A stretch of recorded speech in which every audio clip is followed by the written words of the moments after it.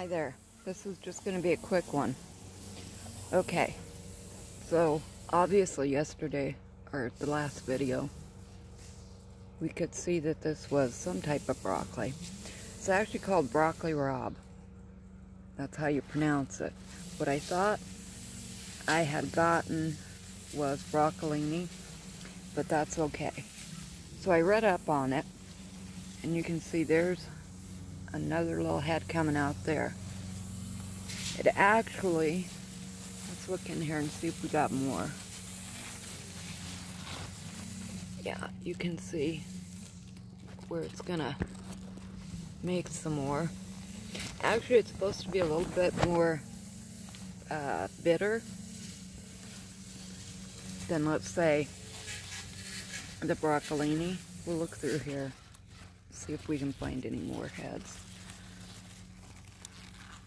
There's one right there. So it's going to be a little more bitter.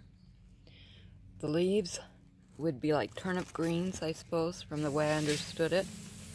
Which meant, I mean, you can eat turnip greens raw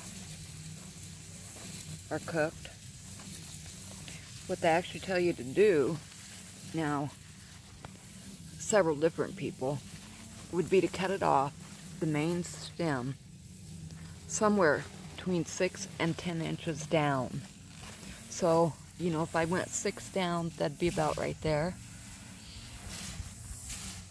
And so this one you can see there's a little yellow on it. So it'll, it'll start going to seed if I don't here shortly. Do that for it. Um, anyway, so it's not exactly what I wanted. What I really, really wanted was the broccolini, which is kind of a different species. It's still the broccoli, but this is more of a broccoli turnip. So, what you end up doing is you cut that down, and then you can, of course, eat it just like broccoli, except the stems are supposed to be really tender on this, not like broccoli. And you can, as as well go ahead and steam the leaves with it or saute them, however you want to do it. Every recipe I've seen included uh, garlic with it.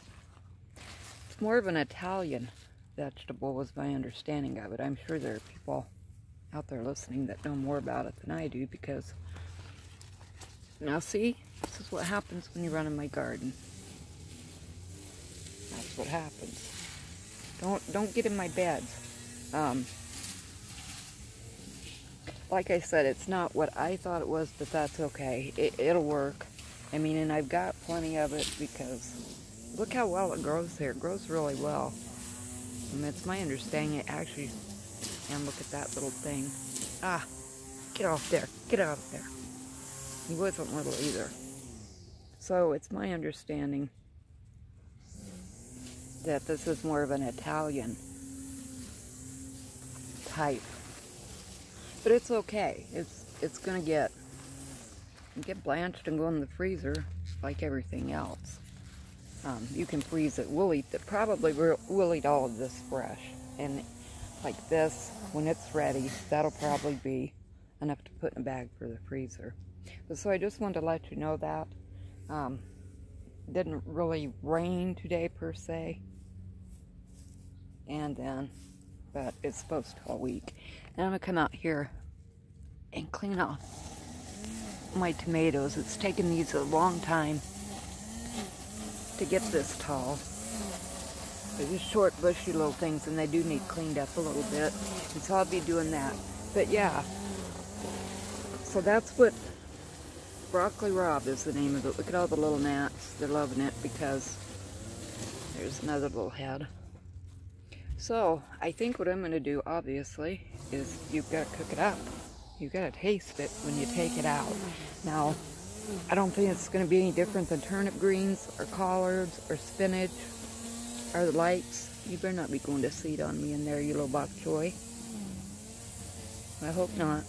And so, I'll try the leaves in a salad and steamed or sauteed with a little vinegar, a little lemon juice because that's what I like on spinach, so that's how I'm going to try it. And I'll let you know. what I think of it. And I hope I like it, because if I don't like it, then uh, I sure got a lot of it, huh? And I'll probably hear some spinach here. So it's looking like we got a another salad coming out this bed. Especially if we put these leaves in with it off of that plant. That would be, would make a lot of salad, huh, for two people. All right, just a little tidbit I wanted to share with you. Happy gardening to all.